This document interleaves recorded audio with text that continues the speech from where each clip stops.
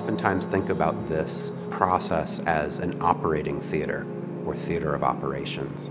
It's how I am able to and willing to and interested in mixing together the film set, the, the artist studio, um, the black box theater, uh, and even ideas from the scientist's lab. So how these spaces of create, creativity and culture making can sort of blend into one another and be publicly accessible, that it doesn't just have to be something that the line between done and not done or resolved and not resolved can be usefully intermingled. In the space uh, is a, a four channel sound installation that's paired with two channels of video. Um, as you enter the space, uh, the space um, itself is sort of an S shape as seen from above. And so you can't at first glance, you cannot see everything at the same time. And so as you enter the space, you can see one of the large projections.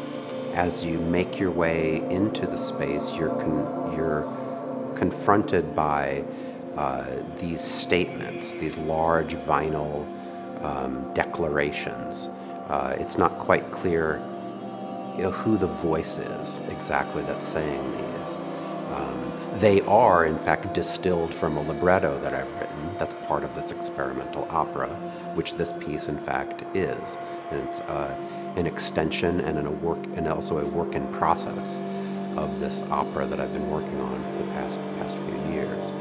And then, as you turn the corner of the the first kind of backwards S shape, what you end up seeing is you're confronted by a, a floor-to-ceiling uh, mylar reflective wall um, because the mylar is um, warped, uh, you can be looking at it straight on and potentially see pieces of yourself and potentially not. Mylar wall is at a right angle to one of the large projections. So typically the, the sight line that you're going to have as you turn the corner is one where the projection, which is very long, it's about a 24 foot wide projection, the projection will meet the corner of the wall and it's a little ever so slightly difficult to tell where the, the projection ends and the, the mylar begins. And part of that's because the projections themselves are these um, elaborate composites of clouds and sandstorms and uh,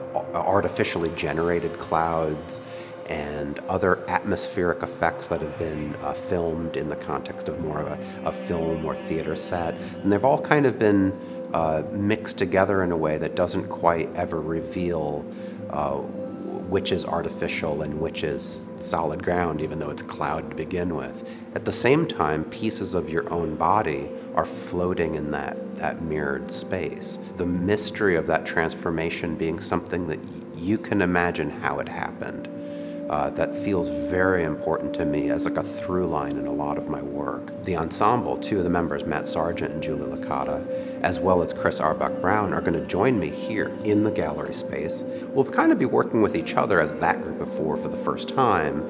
This is how I share a work in process. Oh, space has been fantastic. I mean, the the staff. Uh, and the board members and the interns and the volunteers and this sort of extended family of individuals who are just just connected in this interwoven deep way uh, have been so present um, in my time here. And I, I just really appreciate how they're both their hospitality as well as this this real deep willingness to follow me and and help help me follow my own ideas um, you know, we chase down so many different um, potentials.